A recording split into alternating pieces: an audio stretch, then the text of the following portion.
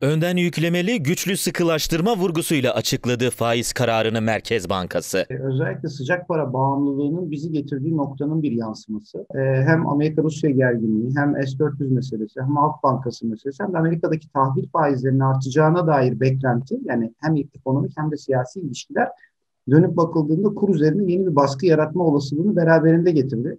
Bunu önden e, engellemeye çalıştı aslında Merkez Bankası. Merkez Bankası merakla beklenen faiz kararında piyasalara sürpriz yaptı. Politika faizini beklentilerin de üzerinde 200 bas puan artırarak %19'a yükseltti. Daha finansal kesimi mutlu edecek bir karar verdi Merkez Bankası. Ama bunun arka planında koca bir ekonomi ve reel sektör var.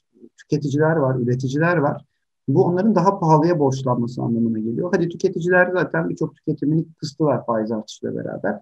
Ama üretici tarafında e, yeri geliyor anlık e, borçlanma, e, işte 3 günlük, 5 günlük borçlanmalar gündeme gelebiliyor. Bu borçlanma yönetiminin maliyeti şu an daha yüksek. Beklentilerin üzerindeki faiz artışı sonrası dolar kuru 7 lira 35 kuruşun altını gördü. Ekonomistlere göre alınan karar acı reçetenin bir yansıması. Faiz artışları daha makul yapılabilirdi. Daha e, iyi seviyelerde kalabilirdi. Yani hem enflasyon hem faiz.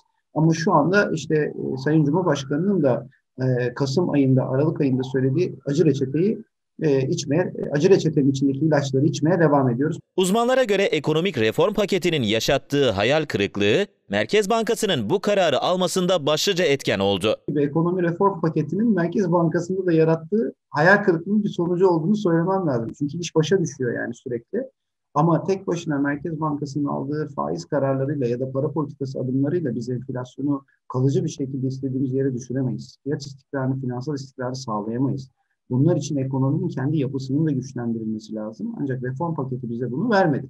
Faiz artışının getirilerinden daha çok götürüsünün olması bekleniyor. Yüksek faiz demek durgunluk ve işsizliğin devam etmesi demek.